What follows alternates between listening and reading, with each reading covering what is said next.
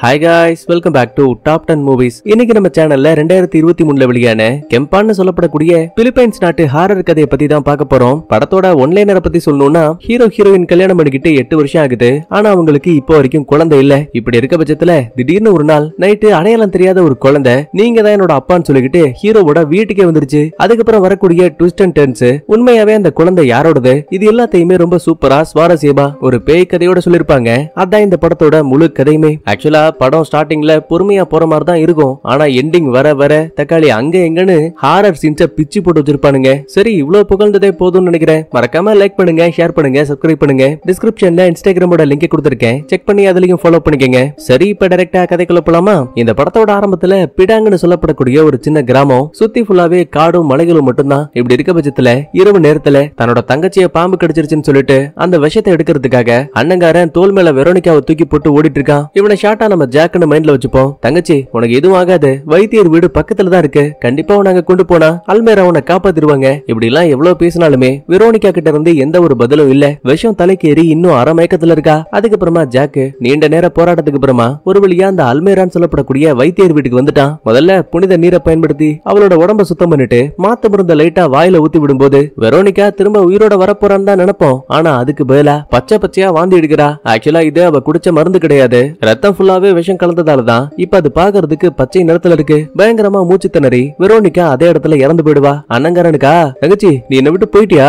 ஐயோயோ போச்சு. நான் உன்னை காப்பாத்தலாமே நீங்க தூக்கிட்டு வந்தனே. எனக்கு இருந்த ஒரே ஒரு சொந்தமும் போயிட்டியேன்னு இப்ப அண்ணங்காரன் கதறி அழுதுட்டு இருக்கான் அல்மேராவளையும் தன்னால ஒரு உயிரை கூட காப்பாத்த முடியலன்னு உள்ளுக்குள்ள ஒரு வருத்தம் இருக்கு. அப்பதான் கடவுளை வேண்டிக்கிட்டு இருந்த இவங்க இறந்து போன அல்மேராவுக்கு திரும்ப உயிரை கொடுக்கணுங்கிறதுக்காக கடவுளோட சிலைகள் எல்லாத்தையுமே ஒரு போர்வியை போட்டு மூடிட்டு இப்ப சாத்தான வணங்க ஆரம்பிக்கிறாங்க. மந்திரத்தை கடைசியா உச்சரிச்சது உச்சரிச்சதுமே இறந்து போயிருந்த வெரோனிகாவோட உடம்பு திடீர்னு அந்தரத்துல பறக்க ஆரம்பிக்குது. அது மட்டும் கிடையாது அவளோட இடுப்பு பகுதியில வித்தியாசமான ஒரு சாத்தான் அடையாளமும் உருவாகுது. கடைசியில இறந்து போன வெரோனிகாவும் திரும்ப உயிரோட வந்துட்டா. ஆனா இப்ப இவளுக்குள்ள ஒரு சாத்தான் சக்தியும் ஒளிஞ்சிருக்க மாதிரி காட்டுறாங்க. இந்த இடத்துல அப்படியே மங்களகரமா டைட்டில போட்டு படத்த ஆரம்பிக்கிறாங்க. ஆக்சுவலா இதுக்கு முன்னாடி பார்த்தது எல்லாமே சரியா ஒரு பத்து வருஷத்துக்கு முன்னாடி நடந்த கதை. இப்ப ரெண்டாயிரத்தி இருபத்தி மூணுல பிரசன்ட்ல என்ன நடக்குதுங்கிறத காட்ட ஆரம்பிக்கிறாங்க. நம்ம கதையோட ஹீரோ ஹீரோயினும் இங்கதான் இருக்காங்க. ஆக்சுவலா இந்த ஹீரோயினோட ஃப்ரெண்டு டயானாவுக்கு ஒரு குழந்தை பிறந்திருக்கு.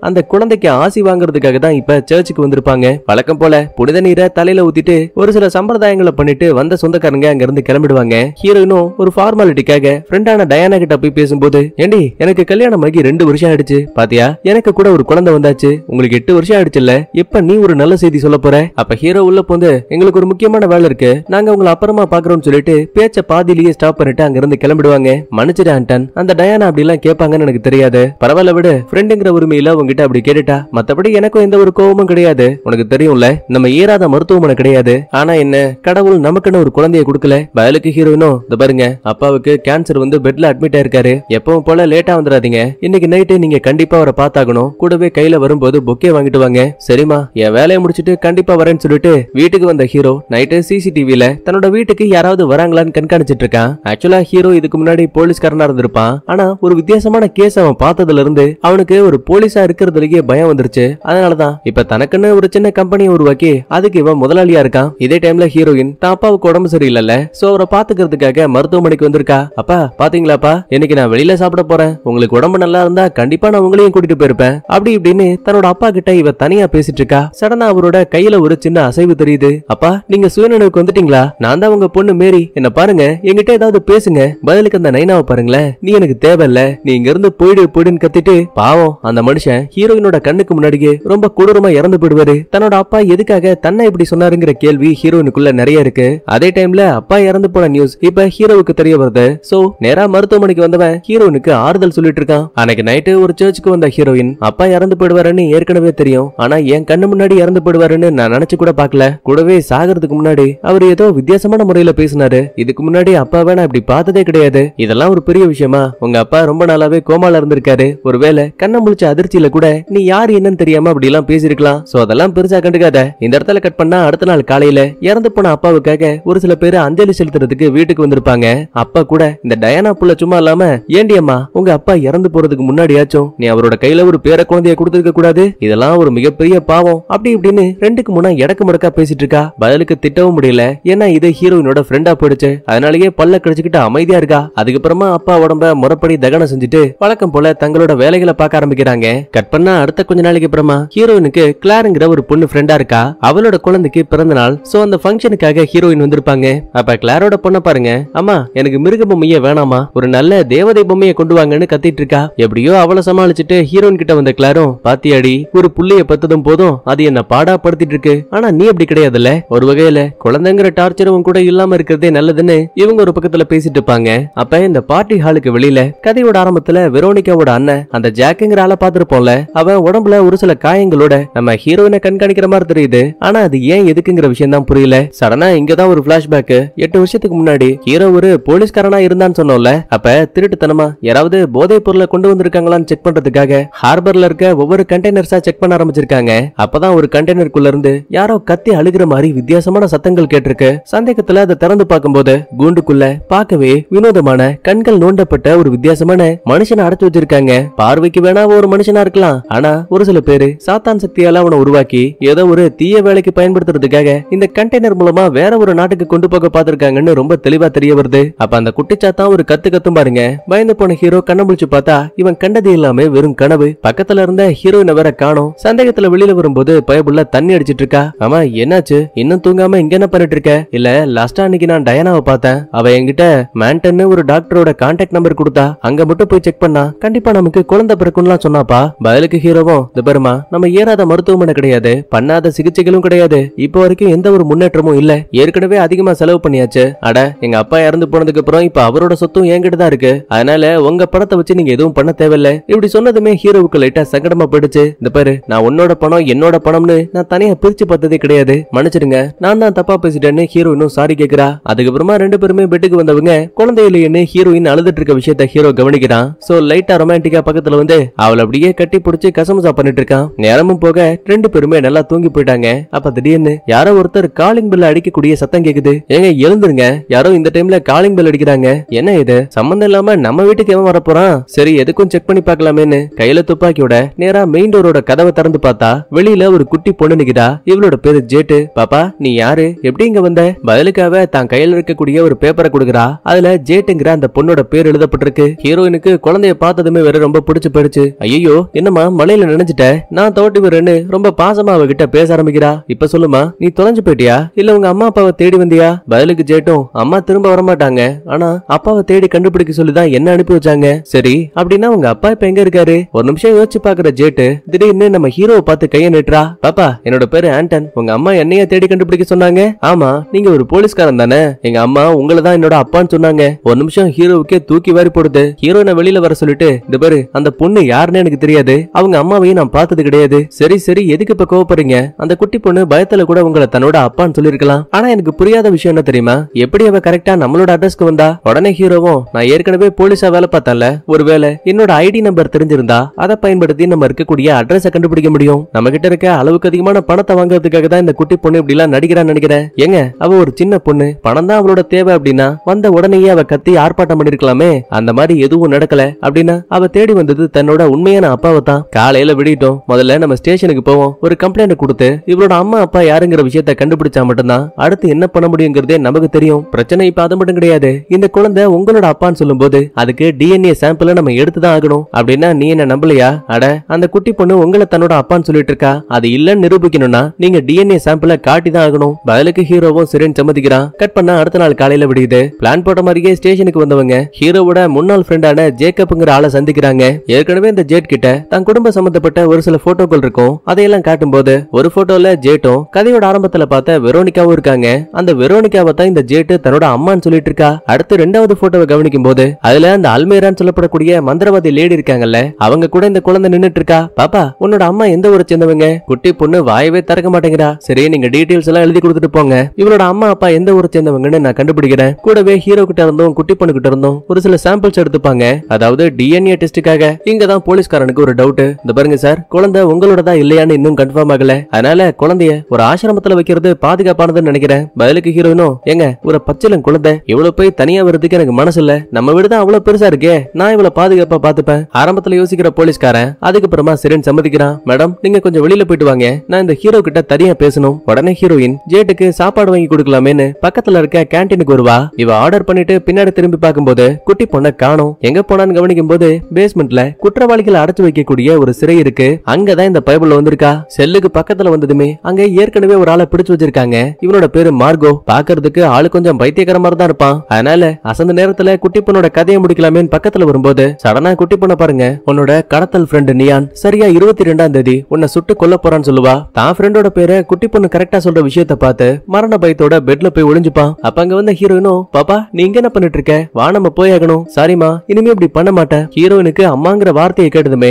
மனசுக்குள்ள பட்டாம்பூச்சி பறகுது கொஞ்சம் கொஞ்சமா ஜேட்ட தன்னோட குழந்தை மாதிரியே பாசம் காட்டி வளர்க்க ஆரம்பிக்கிறா. இதே டைம்ல போலீஸ்கார நம்ம ஹீரோ கிட்ட டேய் உண்மையை சொல்ல. அந்த ஜேட்டு உன்னோட குழந்தை தானே? அட ஏன் நீ வேற? நான் ஏற்கனவே டாக்டர் கிட்ட நிறைய செக்அப்லாம் எடுத்திருக்கேன். இதுக்கப்புறம் எனக்கு குழந்தை பிறக்கிறதுக்கான வாய்ப்பே இல்லைன்னு சர்டிபிகேட் எல்லாம் கொடுத்திருக்காங்க. அப்படி இருக்க பட்சத்துல இந்த ஜேட் எப்படி எனக்கு பிறந்திருப்பா?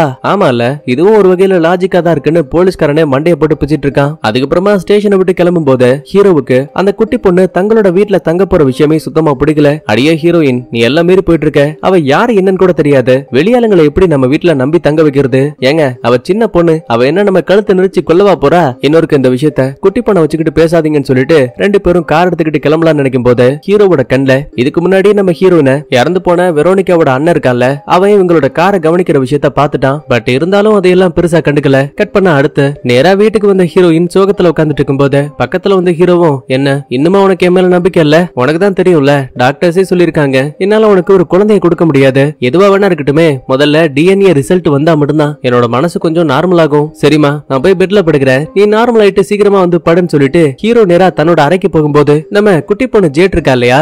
அவளோட அறைக்குள்ள இருந்து வித்தியாசமான சத்தங்கள் கேக்குது. அதாவது யாரோ ஒருத்தர் மந்திரங்களை உச்சரிக்கிற மாதிரி. என்ன ஏதுன்னு புரியாம சந்தேகத்துல லைட்டா ஹீரோவும் கதவை திறந்து பார்க்கும்போது குட்டி பொண்ணு ஜேட்டு நல்லா குரட்டை விட்டு தூங்கிட்டு இருக்கா. சரி ஒருவேளை இது எல்லாமே நம்மளோட மனப்பிரமையா இருக்கும் போலன்னு ஹீரோ கதவை லாக் பண்ணிட்டு கிளம்புனதுமே தூங்குன மாதிரி நடிச்ச அதே குட்டி பொண்ணு ஜேட்டு மறுபடியும் ஒரு சில மந்திரங்களை உச்சரிக்க ஆரம்பிக்கிறா. அப்படின்னா வெரோனிகா உடம்புல எப்படி ஒரு சாத்தானோட சக்தி வந்துச்சோ அவன் மூலமா பிறந்த இந்த குட்டி பொண்ணு ஜேட்டு உடம்புக்குள்ளயும் ஏதோ ஒரு சாத்தானோட சக்தி ஒளிஞ்சிருக்கு போல. பிரச்சனை இப்ப அது மட்டும் கிடையாது. இந்த குட்டி பொண்ணு தானா மந்திரங்களை உச்சரிக்கல. இன்னொரு பக்கத்துல ஒரு அமானுஷமான காட்டுக்குள்ள ஒரு சில இறந்து போன உடல்கள் பேய் உருவத்துல மந்திரங்களை உச்சரிச்சிட்டு இருக்கு அதே மந்திரங்களை தான் இந்த குட்டி பொண்ணு ஜேட்டும் உச்சரிச்சிட்டு இருக்கா கேமரா லைட்டா திரும்பும் போது மையப்பகுதியில கை கால்கள் தலைன்னு இது எல்லாமே வெட்டப்பட்ட நிலைமையில ஒரு உடல் இன்னமும் உயிரோட இருக்க மாதிரி காட்டுறாங்க. கொஞ்சம் கொஞ்சமா கேமரா இடுப்பு கிட்ட வருது. அப்பதான் நமக்கே தெரியுது. அது வேற யாரோட உடம்பும் கிடையாது. கதையோட ஆரம்பத்துல சாத்தான்கள் மூலமா திரும்ப உயிர் பெற்ற அந்த விரோனிகா இருக்கா இல்லையா? அவளோட உடல் தான் இது. இடுப்புல இருக்கக்கூடிய அந்த சாத்தான் சிம்பிளுக்கான அடையாளத்தின் மூலமாவே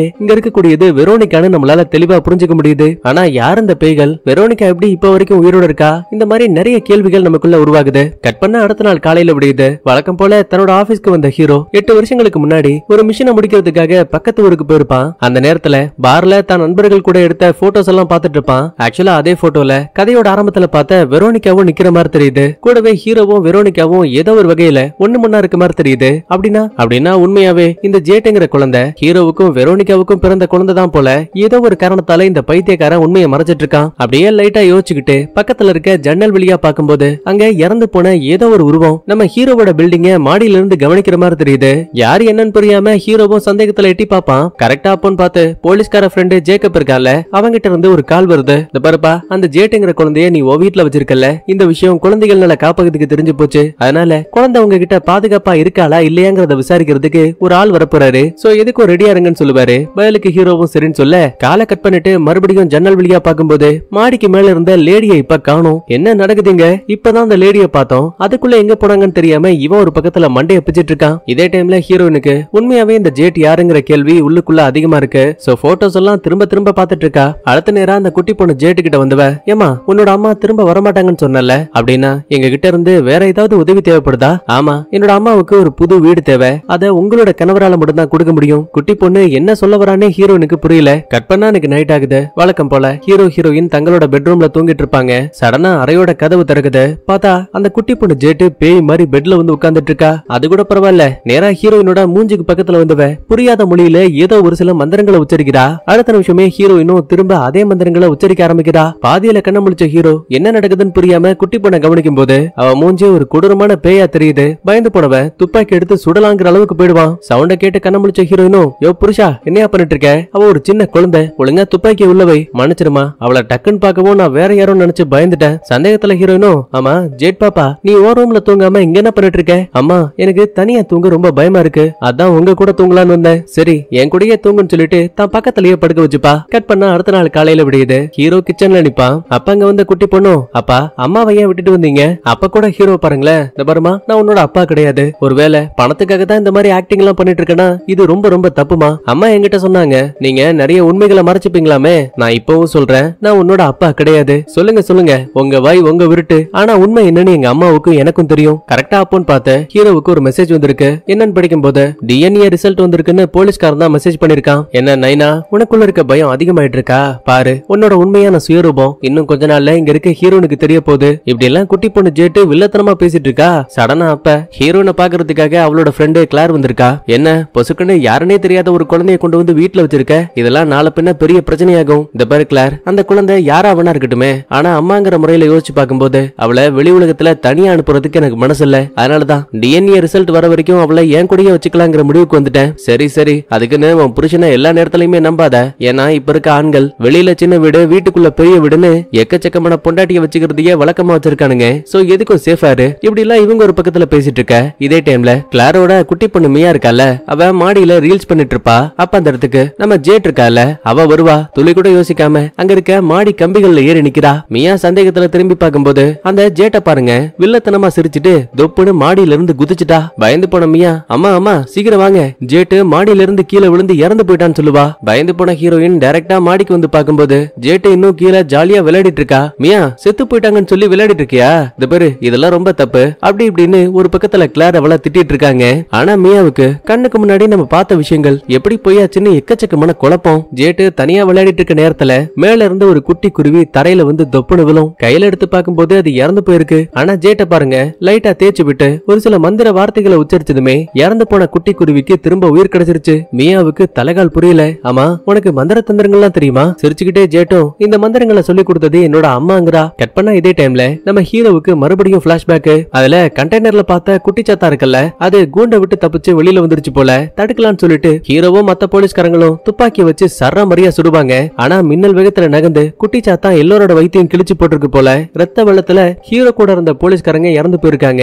மரண பீதியோட ஹீரோ அதை கவனிக்கிற மாதிரி தெரியுது. கடைசியா இவன் கதையை முடிக்க போற நேரத்துல போலீஸ்கார ஃப்ரெண்டு ஜேக்கப் இருக்கான்ல அவன் கரெக்டா அந்த குட்டி சாத்தான பார்த்து சுடும்போது சம்பவ இடத்துலயே அந்த ஜந்து பைப்புல இறந்து போயிடுச்சு. இந்த சம்பவத்துக்கு அப்புறம் தான் நம்ம ஹீரோ போலீஸ்கார வேலையே வேணாம்னு சொல்லிட்டு விட்டுருப்பான். இந்த இடத்துல சீனும் கட்டாக இப்ப ஹீரோ ஃப்ரெண்டான ஜேக்கப்ப பார்க்க வந்திருக்கான். டிஎன்ஏ ரிசல்ட் வந்துச்சு பாத்தியா? தொண்ணூத்தொன்பது சதவீதம் நீ தான் அவளோட அப்பான்னு தெரிய வந்திருக்கு. பயலுக்கு ஹீரோவும் என்ன விளையாடிட்டு இருக்கீங்களா? கடந்த எட்டு வருஷத்துக்கு மேல நான் ஏறாத மருத்துவமனை கிடையாது. அங்க இருந்த எல்லா டாக்டர்ஸுமே எனக்கு குழந்தை பிறக்கிறதுக்கான வாய்ப்பே இல்லைன்னு சொன்னாங்க. அப்படி இருக்கும்போது எனக்கு எப்படி இந்த மாதிரி ஒரு குழந்தை பிறந்திருக்கும்? சிரிச்சுக்கிட்டே போலீஸ்காரனும் டேய் நீ கல்யாணம் பண்ணது ரெண்டாயிரத்தி பதினாறுல? அதுக்கு முன்னாடி வருஷம் தான் ஹார்பர்ல ஒரு மிஷனுக்காக நீயும் நானும் போனோம். அப்ப கூட பார்ல நீ ஒரு பொண்ணு கிட்ட வளைஞ்சு வளைஞ்சு பேசின. ஞாபகம் இருக்கா? பதிலே சொல்லாம ஹீரோ அமைதியா இருப்பான். என்ன? உண்மை தெரிஞ்சு போச்சுன்னு அமைதியா இருக்கியா?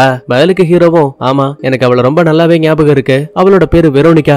ஜேட்டும் அவளை தான் தன்னோட அம்மான்னு சொன்னா அப்புறம் என்னப்பா? நீயும் அவளும் ஒன்னா இருந்திருக்கீங்க. ஒருவேளை அதனாலதான் ஜேட் பிறந்திருப்பாளோ என்னமோ? இலே ஜேக்கப் எனக்கு குழந்தையே பிறக்காதுன்னு சொல்லிருக்காங்கடா அப்புறம் எப்படி இதெல்லாம் நடக்கும்? ஒருவேளை இப்படி இருக்குமோ? நல்லா யோசிச்சு பாரு ரெண்டாயிரத்தி பதினஞ்சுல நீ அந்த வெரோனிகா கூட ஒண்ணு மண்ணுமா இருந்திருக்க. அந்த நேரத்துல உனக்கு குழந்தை பிறக்கிறதுக்கான வாய்ப்பு இருந்திருக்கலாம். கடைசியா அவ கூட ஒண்ணு மண்ணா இருந்து முடிச்சதுக்கு அப்புறமா உனக்கு அந்த ஆண்மை இல்லாம போயிருக்குமோ என்னமோ? ஹீரோவுக்கும் ஜேக்கப் என்ன சொல்ல வராங்கிறது தெளிவா புரியுது. இந்த பாரு இதுக்கு மேலயும் உண்மையை மறைக்க முடியாது. அந்த ஜேட் இனிமே உன்னோட குழந்தை. நீ தான் அவளை பாதுகாப்பா பாத்துக்கணும் முக்கியமா உன் மனைவி கிட்ட நடந்த எல்லா உண்மைகளையும் யோசிக்காம சொல்லிடு. இப்படி எல்லாம் பேசிட்டு இருக்கும்போதே அந்த வெரோனிகாவோட அண்ணன் ஜாக் இருக்கான்ல அவன் பாருக்கு வெளியில இருந்து நம்ம ஹீரோவை கண்காணிக்கிற மாதிரி தெரியுது. ஏற்கனவே கொலை வெறியில இருக்க நம்மாலு இத பார்த்தா சும்மா இருப்பானா? படு வேகத்துல வெளியில வந்தவன் அண்ணங்காரன் ஜேக்கப் புடிச்சு அட்டி அடி நடிக்கிறான். மூஞ்சி முகரையெல்லாம் ரத்தம் ஊத்திட்டு இருக்கு ஃப்ரெண்டுக்காரன் ஜேக்கப் தடுக்கலான்னு பார்த்தா கூட அதையெல்லாம் அந்த பைபிள்ல கேக்குற மாதிரியே இல்ல. அப்ப திடீர்னு அந்த ஜேக்கப் பையன் மூஞ்ச பக்கத்துல காட்டுவான் பாருங்க. ரொம்ப கோரமா ஒரு பேய் வடிவத்துல இருக்கு. இத பார்த்து ஹீரோ பயந்ததுமே ஜாக்கு தப்பிச்சா போதுன்னு அந்த இடத்த விட்டு எஸ்கேப் ஆயிடுவான். அதே டைம்ல அங்க வந்த போலீஸ்காரங்க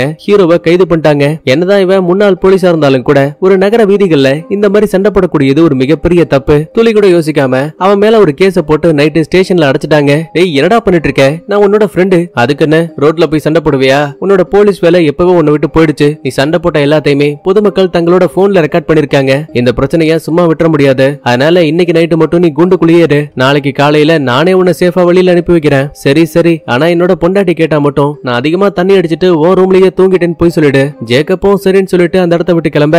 அப்பதான் கரெக்டா அதே செல்லுக்குள்ள இருக்க மார்கோ வெளியில வரான். சார் நீங்க முன்னாள் போலீஸ் தானே? உங்களோட பொண்ணு பேர் தான் ஜேட்டா. ஆமா அவளை பத்தி உனக்கு எப்படி தெரியும்? சார் நீங்க நினைக்கிற மாதிரி உங்க பொண்ணு சாதாரண மனுஷி கிடையாது. அவ தேவதை உலக மக்களோட பிறப்பையும் இறப்பையும் அவளால கணிக்க முடியுது. உள்ளுக்குள்ள இருக்க சக்தி தேவதையா இருந்தாலும் கூட வெளி உடம்பு ஒரு சாத்தானால உருவாக்கப்பட்டது. இன்னும் புரியலையா? ரெண்டு நாளைக்கு முன்னாடி உங்க பொண்ணு இங்க வந்தா என் ஃப்ரெண்டு நியானோட கையால வர இருபத்தி ரெண்டாம் தேதி என் ஃப்ரெண்டோட கையாலேயே நான் சுட்டு இறந்து போயிடுவேங்கிற விஷயத்த சொல்லிட்டு போயிட்டா? இப்படி எல்லாம் நிறைய விஷயங்களை சொல்லி முடிச்சிட்டு அந்த மார்க்கோ தூங்குறதுக்காக போயிடுவான். ஆனா ஹீரோவுக்கு மட்டும் உண்மையாவே இதெல்லாம் நடக்க போகுதா? இல்ல இவன் புருடா கதை விடுறானான்னு சந்தேகமும் அதிகமாகுது. இன்னொரு பக்கத்துல ஹீரோயின் குட்டி பொண்ணு ஜேட்ட தூங்க வைக்கலான்னு நேரா அவளோட அறைக்கு வந்து பார்க்கும்போது அவ பெட்ல தாவி குதிச்சு விளையாடிட்டு இருப்பா. ஆரம்பத்துல கொஞ்சம் ஹைட்டுக்கு தாவனவ திடீர்னு மேல் பக்க சுவரையே போய் டச் பண்ணிட்டு கீழே வருவா. பயந்து போன ஹீரோயின் டக்குன்னு கண்ண முழிச்சு பார்த்தா இவ கண்டது எல்லாமே வெறும் கனவு. பக்கத்துல தூங்கிட்டு இருந்த ஜேட்ட வேற காணும். சந்தேகத்துல நேரா ஹாலுக்கு வந்து பார்க்கும்போது இறந்து போன ஹீரோனோட அப்பா இருக்கார்ல அவரு கூட ஜேட்டு விளையாடிட்டு இருக்கா. இத பார்த்தா ஹீரோனுக்கு எப்படி இருக்கும்? அப்பா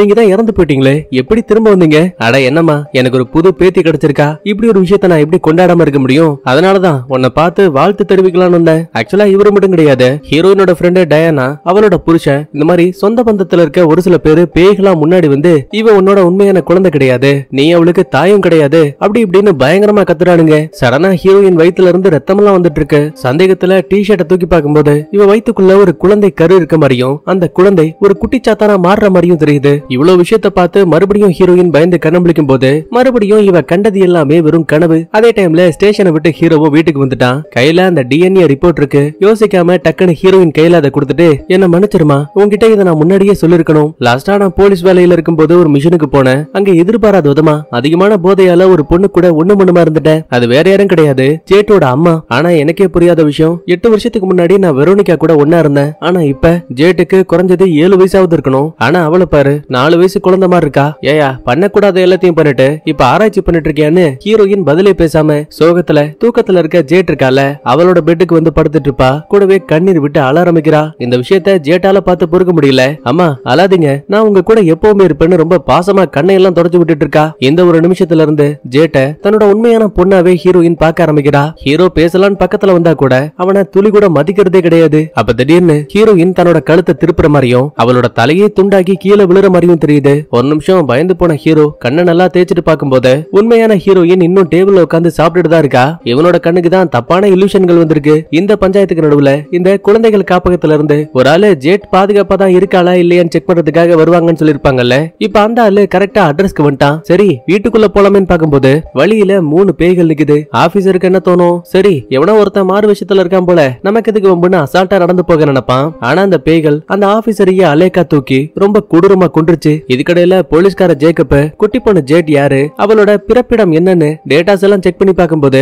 பிடாங்கன்னு சொல்லப்படக்கூடிய ஒரு கிராமத்துல இருந்து தான் அவ வந்திருக்காங்கிற விஷயத்த கண்டுபிடிச்சிட்டான் அவசர அவசரமா ஹீரோவுக்கு கால் பண்ணி அந்த வெரோனிகா பிடாங்குங்கிற ஊரை சேர்ந்தவ அது மட்டும் கிடையாது லாஸ்டா அவங்க நகரத்தை நோக்கி ஒரு பஸ்ல வந்திருக்காங்க. எதிர்பாராத விதமா அந்த பஸ் விபத்துக்குள்ளானதுல உள்ள இருந்த எல்லாருமே இறந்து போயிட்டாங்க. ஆனா திடீர்னு அவங்க உடம்பு மட்டும் மிஸ் ஆயிடுச்சு. ஹீரோவுக்கு இந்த நியூஸ கேட்டு தூக்கி வாரி போடுது. ஏயா பஸ்ல குட்டி பொண்ணு ஜேட்டும் தானே போனா? அம்மா திரும்ப வரமாட்டாங்கிறத தெளிவா அவ சொல்லிருக்கா. அப்படின்னா வந்திருக்க கூடியது உண்மையான மனுஷியா இல்ல பேயா? எனக்கும் இப்போ வரைக்கும் உண்மைகள் தெரியல. நீ சேட்டை பிடிச்சு வை. நான் உடனே உடனே உன் வீட்டுக்கு வரேன்னு சொல்லிட்டு ஜேக்கப் காலை கட் பண்ணிட்டான். இப்ப ஜேக்கப் ஸ்டேஷனை விட்டு வெளியில போன அந்த சின்ன கேப்ல அடையாளம் தெரியாத ஒரு ஆளு கையில துப்பாக்கியோட பேஸ்மெண்ட்ல இருக்க அந்த மார்கோ இருக்கான்ல அந்த செல்லுக்கு வந்திருக்கான். மறைச்சு வச்சிருந்த துப்பாக்கி எடுத்து டப்பு டப்புன்னு சுட்டு அவனோட கதையை முடிச்சிருவான். இங்கதான் ஒரு விஷயம் புரியுது. இவன் வேற யாரும் கிடையாது. நம்ம குட்டி பொண்ணு ஜேட்டு சொல்லிருப்பால உன்னோட நண்பன் நியானோட கையாலேயே நீ சுடுபட்டு இறந்து போயிடுவேன்னு. அந்த நியான் தான் இவன். இந்த பஞ்சாயத்துக்கு நடுவுல வீட்டுல இருக்க ஹீரோவுக்கு சிசிடிவி வழியா பார்க்கும்போது வீட்டுக்கு வெளியில அடையாளம் தெரியாத யாரோ ஒரு சிலர் அங்க இங்கன்னு நடந்து போற மாதிரி தெரியுது. ஹீரோவோட பார்வையில அவங்க யாரோ கொலகாரங்க இல்லனா கொள்ளக்காரங்க நினைச்சிட்டு இருக்கான். ஆனா நமக்கு தான் தெரியும். வந்திருக்க கூடியது எல்லாமே பேய்கள். கையில துப்பாக்கி எடுத்துக்கிட்டு அவங்க கதையை முடிக்கலான்னு ஹீரோ வெளியில கிளம்புவான். இதே டைம்ல ஒரு சின்ன பிளாஷ்பேக் பிடாங்கன்னு சொல்லப்படக்கூடிய கிராமத்துல இருந்து வெரோனிகா குட்டி பொண்ணு ஜேட்டு அப்புறம் தன்னோட அண்ணன் ஜாக்கு இவங்க கூட ஒன்னா சேர்ந்து சிட்டிக்கு பஸ்ல போயிட்டு இருப்பா. அப்ப குட்டி பொண்ணு ஜேட்டும் கேப்பா ஆமா கண்டிப்பா அப்பாவை நம்மளால பார்க்க முடியும்ல? நான் தான் உனக்கு ப்ராமிஸ் பண்ணல.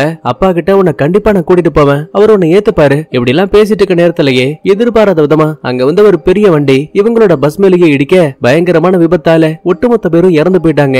அதுல இந்த குட்டி பொண்ணு ஜேட்டு மட்டும் அதிர்ஷ்டவசமா உயிர் பிழைச்சிட்டா. ஜாக்கு என்னாச்சுன்னு பாக்கும்போது அவன் சம்பவத்திலேயே இறந்து போயிட்டான். சரி தான் அம்மாவோட உடம்புக்கு என்னாச்சுன்னு பாக்கும்போது விபத்தின் காரணமா அவங்களோட தலை கை கால்னு எல்லாமே துண்டு துண்டாயிடுச்சு. ஏற்கனவே சொன்ன மாதிரி வெரோனிகா ஒரு சாத்தானால உயிர் பெற்றவ. அந்த காரணத்தாலேயே என்னதான் உடல் பாகங்கள் துண்டாவே போனாலும் கூட அவ இப்ப குட்டி பொண்ணு ஜேட்டு கிட்ட பேச ஆரம்பிக்கிறா. இறந்து போனவங்க உடம்புல கைய வச்சு தேய்ச்சிட்டு நான் சொல்லக்கூடிய மந்திரங்களை அப்படியே சொல்லுன்னு சொல்லும்போது குட்டி பொண்ணும் அதே மாதிரியே பண்ணுவா? அடுத்த நிமிஷமே ஜாக்குக்கும் இந்த சம்பவத்தால இறந்து போன மத்த எல்லாருக்கும் திரும்ப உயிர் கிடைச்சிருது. அதுக்கப்புறம் தான் இந்த பேய்கள் இறந்து போன வெரோனிகாவுக்கு திரும்ப உயிரை கொடுக்கணும். அவளுக்காக ஒரு நல்ல உடல் வேணுங்கிறதுக்காக குட்டி பொண்ணு மூலமா ஹீரோவை தேடி கண்டுபிடிச்சிருக்காங்க. அவனோட மனைவி அதாவது நம்ம ஹீரோயின் இருக்கால அவ உடம்புக்குள்ள வெரோனிகாவோட பேய கொண்டு வர பாக்குறாங்க.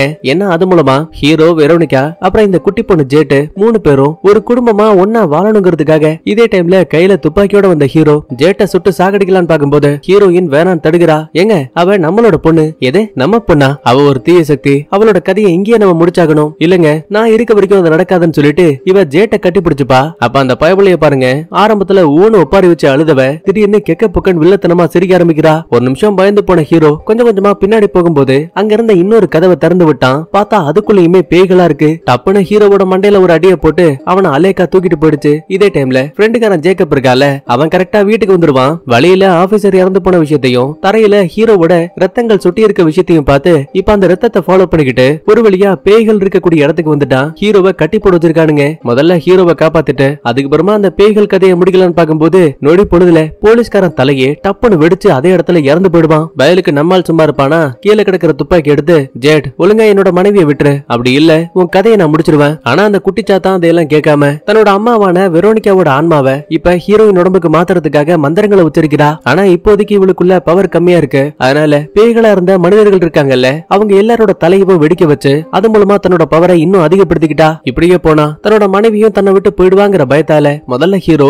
வெரோனிகாவோட கோரமான உடல் இருக்கும்ல அத சரமரியா துப்பாக்கியில சுற்றுவான் அடுத்த நிமிஷமே இதய துடிப்பு மொத்தமா ஸ்டாப் ஆயிடுச்சு. இந்த சின்ன கேப்ல ஹீரோனை தூக்கிட்டு அங்கிருந்து ஓடலான்னு பாக்கும்போது அண்ணங்காரன் ஜாக் இருக்கால அவன் துப்பாக்கி எடுத்து ஹீரோவோட தோல்பட்டையிலேயே ஒரு ஷாட்டு அதிகப்படியான ரத்த போக்கால ஹீரோ அதே இடத்துல இறந்து போயிடுவான். அப்பதான் ஹீரோயின் மயக்கத்தை விட்டு கண்ண முழிப்பா. பக்கத்துலயே அந்த குட்டி பொண்ணு ஜேட் நிக்கிறா. அம்மா நேரம் ஆயிடுச்சுமா வாங்க வீட்டுக்கு போலான்னு அவ பாட்டுக்கு ஹீரோயினை கூட்டிட்டு போயிட்டு இருக்கா அப்ப லைட்டா வயிறு வலிக்கிற மாதிரி இருக்கு. சந்தேகத்துல இடுப்பை செக் பண்ணி பார்க்கும்போது வெரோனிகா உடம்புல ஒரு டேட்டூ இருந்திருக்கும்ல. அதே சாத்தான்களுக்கு சம்பந்தப்பட்ட ஒரு டேட்டூ இப்ப ஹீரோயினோட இடுப்புல வந்துருச்சு. அப்படின்னா வெரோனிகாவோட பேய் வெற்றிகரமா இவ உடம்புக்குள்ள வந்துருச்சுன்னு அர்த்தம். விட்டுட்டு போன ஹீரோ கூட திரும்ப ஒன்னா இருக்கலாம் தான். வெரோனிகா தான் பொண்ணு மூலமா இவ்வளவு விஷயத்த பண்ணிருப்பா. ஆனா இப்ப அவனே இறந்து போனாலும் கூட தனக்குன்னு ஒரு பொண்ணு இருக்காளே அவளோட வாழ்க்கையை பாக்கணுமே சொல்லிட்டு இவங்க மட்டும் இந்த இடத்த விட்டு தப்பிச்சு போற மாதிரி காட்டி அப்படியே இந்த இடத்துல சூப்பரா படத்தையும் முடிக்கிறாங்க. நான் சொன்ன இந்த கதை தெளிவா புரிஞ்சிருக்கும் நம்புறேன். சரி ஓகே அடுத்த ஒரு சூப்பரான தர்ற மனப்படத்தோட வரங்க. பாய்